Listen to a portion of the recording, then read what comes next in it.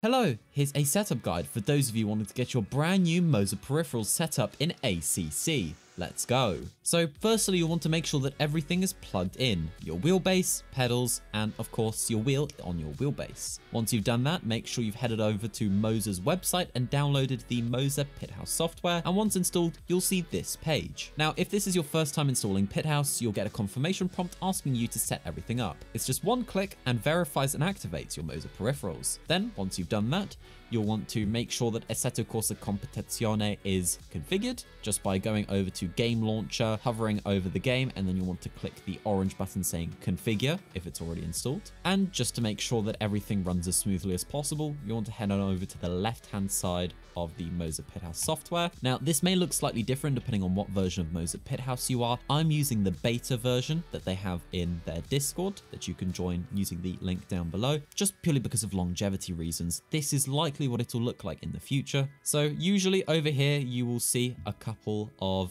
different profiles that you can use. Now, the one that I usually recommend are the ones that have the game name in them. So ACC if you're playing ACC, F1 series if you're playing, well, the F1 series, iRacing, etc. And depending on what wheelbase you have, you'll want to set this game force feedback intensity to 100%. This is just a general rule of thumb, as in software, you want to set your wheelbase to 100% 99.9% of the times, and then tone it down slightly in-game. Right, speaking of in-game, let's head on over there. Right, so I have ACC open right in front of me. Now, the first thing we're going to want to do is we're going to want to head into the options page, go to controls, and here you will see all of these settings that we can change. Steering is, well, your steering. You want to click on that and then you want to move your steering wheel. As you can see, mine is already set up and you'll want to do the same for the rest of these.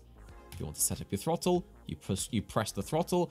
If any of these are inverted, if say you're not pushing the throttle or pedals at all and it's at 100%, you click on this arrow and then you can click inverted. If there is, say, a little bit of flickering on either the top dead zone or the bottom dead zone, you can set the maximum and minimum limits just so you don't get random unintentional inputs. Then shift up and shift down, you press the prompt on screen, and then you press in your paddle. Now, this is where you're going to be doing a lot of the changes. Over here is the force feedback and advanced tabs. Now, gain over here is how heavy the wheelbase will feel. Now, if you've set this at 100% like I recommended earlier, you'll find this to be a little bit harsh if you set it all the way to 100%, especially on higher end wheelbases. Now, I'm not exactly going to recommend putting this above 50% on Moza's R12 wheelbases and above, just so you can get a feeling of how heavy the wheelbase is, and then you can turn it up if it still feels a little bit too light. Minimum force just applies a constant effect, so if you want to have a heavier